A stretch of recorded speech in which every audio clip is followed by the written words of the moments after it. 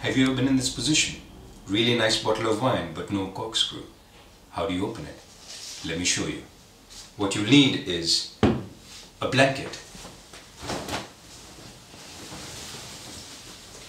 and the power of the mind.